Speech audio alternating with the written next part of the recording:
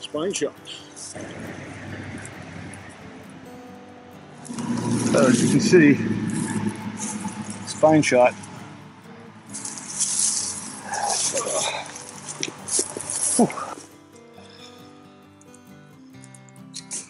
It did, buddy.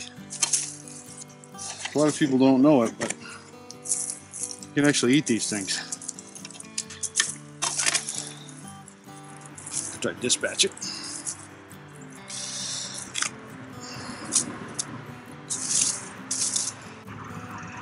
Mora. Million and one uses. Good for a ferro rod and killing a sucker. This is a typical white sucker. A lot of people don't realize it, but there is a uh, season on these in New Hampshire. Not too far from the highway, but the season on these from March 1st to Mar May 31st, you can take suckers by means of spearing or shooting them with a bow.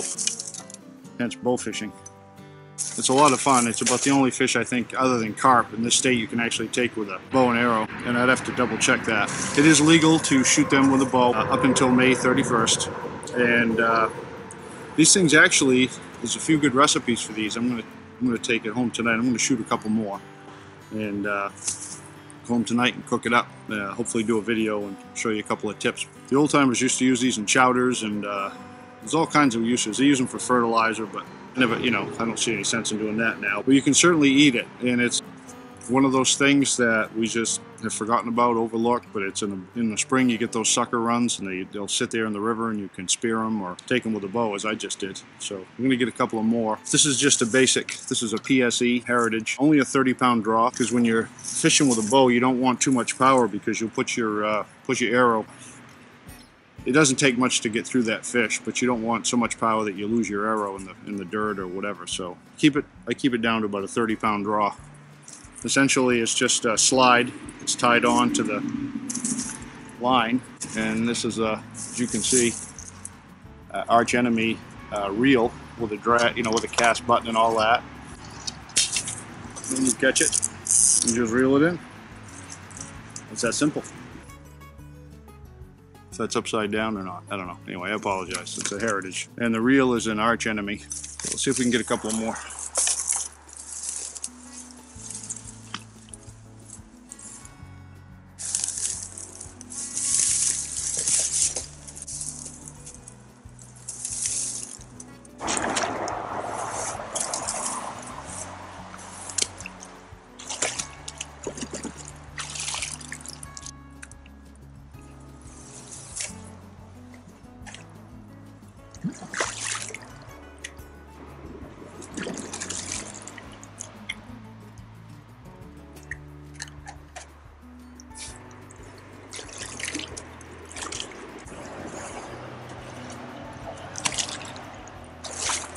Had a big cloud of mud go by, so that tells me something's going on upstream, so maybe they'll come back down. All uh, water's cloudy, so there was some, some kind of activity upstream. It could have been a beaver, it could have been a bunch of fish swimming back down. Just sitting waiting right now. Also, like to point out, without these polarized glasses, I couldn't see anything.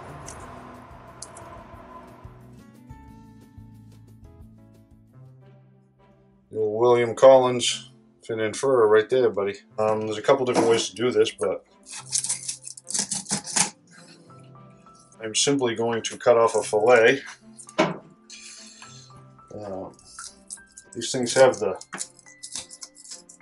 Y bones or whatever you want to call them. But what I do is I go right on the backbone, get to the vent like that, uh, right there.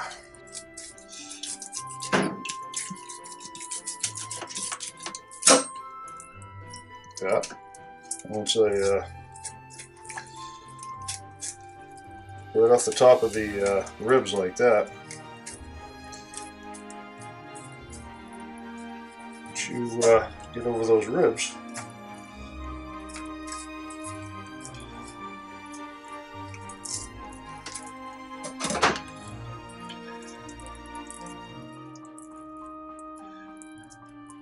Y bones right there. Uh, the old timers.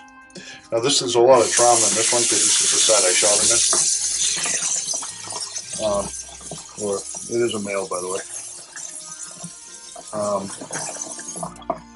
you can see it's a white meat. There's a couple different ways. If you cook it hot enough and hot enough grease, those bones, you can actually just eat them right up. There are some Y bones in there. My grandmother used to soak them in buttermilk overnight, and that took the redness, that red tinge out of it. But I mean, I think it tastes pretty good personally. So this one here should uh, a little bit better. There you go. You can see I'm just holding the skin, just like filleting skin in any fish.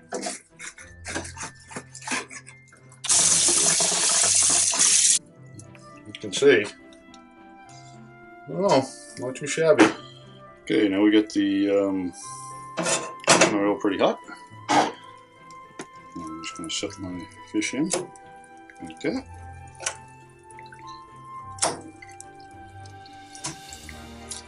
Nice little fillets. And we've got this stuff. Yeah, I picked up on my uh, latest road trip. Give a little bit of kick. Western Sizzle Bayou Bass. Excellent for all game fish. So, let's see if the sucker is a game fish.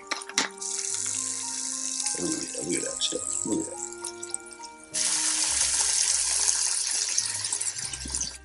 that up. Let that saute simmer away. And there you have white sucker fillets with bayou seasoning, some fresh fiddleheads, a little long grain rice, and this is a little trick I like. Liquid aminos. It's a because I don't eat soy sauce anymore because um, it's not good for you. This is a natural soy sauce alternative, and it's really good. It tastes just like soy sauce, if you will, but without the bad side effects. You know, if people have issues with sodium in their diet, triglycerides and all that stuff. But anyway, it's good. I put a little bit on the top, which I'm going to do in a minute, and uh, enjoy this really good dish. Thanks for joining me at my table. Just a, just a little bit of aminos on the top, a little bit in the rice, a little bit of flavor, and mm. there are some Y, as I said, there's a few Y bones in the in the back. You can pick through them. If you cook it hot enough, it, you can actually eat the bones. I just don't deep fry anything, and a lot of people can them, and uh, that'll take care of it. What I do is I just pick, pick through, pick the just pick the bones aside, just a few. It's starting to bring back childhood memories. Spring sucker run, fiddleheads, peepers are out. Remember my grandmother used to say, if you hear the frogs, that means the suckers are running. No, no, she had a point. We used to go out and harvest a lot of suckers in the springtime. Mm. Not bad.